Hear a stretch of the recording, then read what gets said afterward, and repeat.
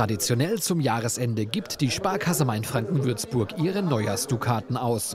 Mit dabei bei der symbolischen Prägung Würzburgs Oberbürgermeister Christian Schuchert. Überaus passend, denn ein Amtsvorgänger ziert die Münze.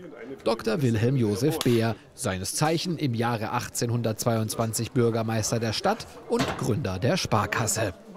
Es passt natürlich zum 200-jährigen Jubiläum der Sparkasse mit Dr. Josef Bär auf der Vorderseite und auf der Rückseite findet man eine alte Zeichnung, die ersten Schalterhalle im alten Rathaus in der Langgasse.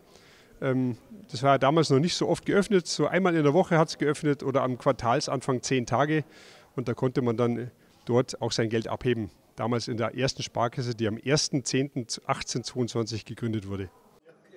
Die Münzen sind in Silber bis Ende Januar für 20 Euro in der Schalterhalle der Sparkasse in der Würzburger Hofstraße erhältlich.